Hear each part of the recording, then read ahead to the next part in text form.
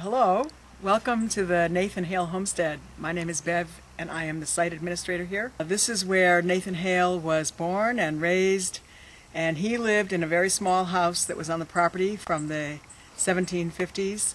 The house behind me was where his family lived.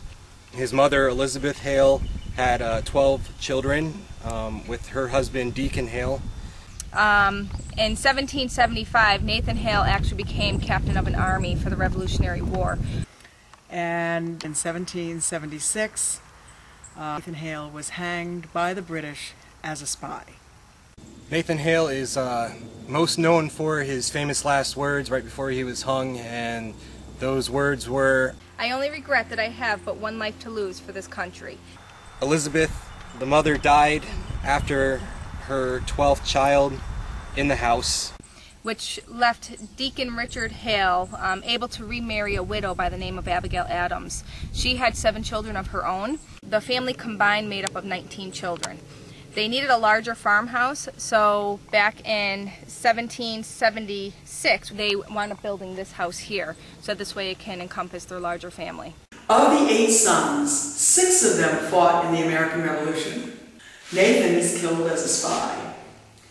Um, and then the, there are three more that their lives were greatly affected by the war. The oldest son came back, and he's described as infirm. But he wasn't able to run the farm, he wasn't able to do much work, never married, had a family. So we wonder if perhaps he was affected, as today we would have stress disorder or shell shock. Um, but for whatever reason, the oldest son, he lived a long time, but he didn't really um, contribute much to the farm. Two other of the sons came back, and they had evidently been on British prison ships. And when they returned to Coventry, they died of disease, leaving their young families. So um, the Hales, Richard and Abigail, actually raised a number of their grandchildren because the sons had died um, due to the American Revolution. Deacon Hale lived here at the house until about 1802 when he died. After he died for a few decades, uh, generations of the Hale family lived and occupied the house after that. In 1914, the house and property was acquired by George Dudley Seymour, who uh, restored the house because the house was left in ruins uh, before he bought it. Um, I'd like to introduce you to George Dudley Seymour. This was an eccentric and very wealthy uh, attorney from New Haven. And in 1913, he came to Coventry to find Nathan Hale's house. He loved the story of Nathan Hale. He was very patriotic. And so he wanted to own the house and furnish it and restore it. So he fixed up the house and he was really interested in the history of the house and he actually went about buying uh, different artifacts that were sold off after Deacon died. And uh, I believe he bought Nathan Hale's trunk from when he was in the army.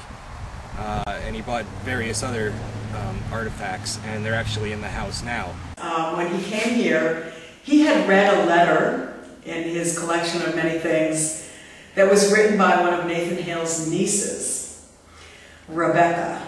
And it said that in the North Chamber, where she grew up as a girl, there was actually a profile done in pencil, a shadow portrait, if you will, of Nathan Hale. And um, so George W. Seymour came here. He evidently came to the chamber. He took this door off and had the door, take it, took the door, had this stripped, and there is indeed a, a pencil mark of, a, of a, the profile of a young man. Now it's slightly larger than life because it would have been done to a candle, the shadow on a candle perhaps. Um, so whether or not this is Nathan Hale, it maybe doesn't matter because it caused George W. Seymour to purchase the house. Um, a very interesting end to the story is that George Dudley Seymour, here's another photograph of him, he never married or had children, but he dearly loved his horse.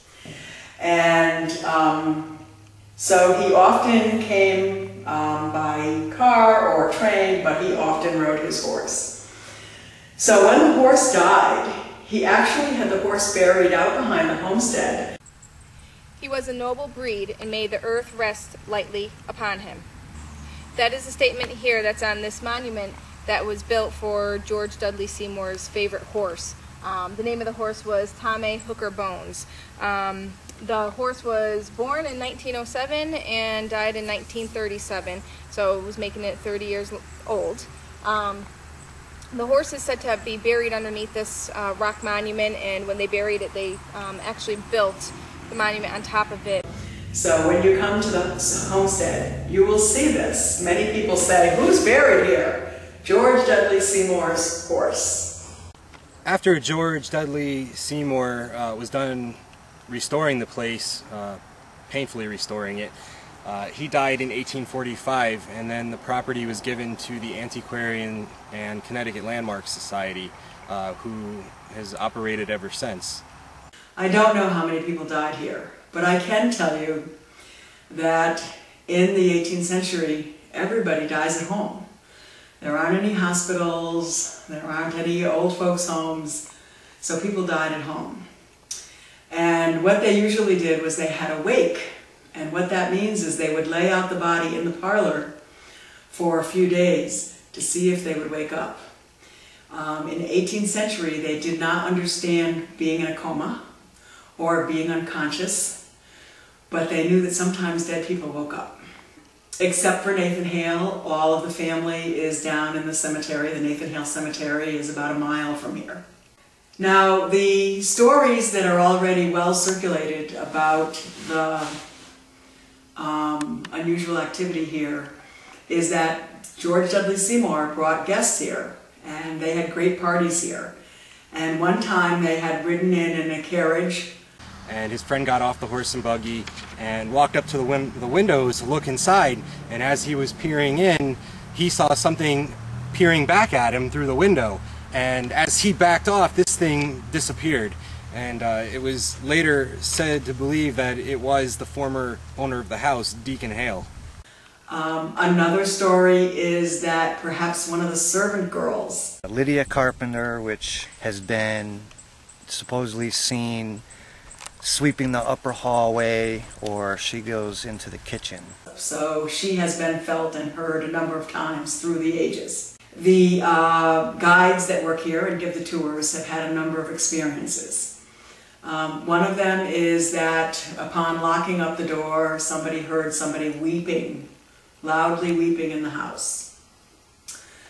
Another one is um, we, we have two guides on usually, and one was giving a tour of the house and heard somebody upstairs and thought the other guide was on a tour and said, um, is anybody, are you up there? Yes, we're up here. And after she finished her tour, she went out to the visitor center in the barn and said, oh, I thought you were upstairs on the tour. She said, no, I've, I've been in here the whole time. So somebody answered back from the upstairs. So we, we don't know whose voice that was. One of the stories, experiences that happened here was to our guide Elizabeth. She and her husband had come to a hearth cooking class. And when they were leaving and walking away from the homestead on a very dark night, they looked up at the attic window and they saw a bright light in the window. And um, even her skeptical husband admitted that he saw this bright light. Now the lights were not on in the attic, and even if they were, the single light bulb is behind the chimney stack. So there's something unusual about the window here in the attic behind me. There have been the usual sounds and creaks and lights and some of those the issues are, that's an old house. you know, things move and creak and, and settle. Another story that has been circulated is the sound of chains in the basement. And um, some people seem to think that that's Joseph uh, Rebecca's father, who the one who had been on the prison ship and, and came back and died of disease. So here we are, some 60 years later.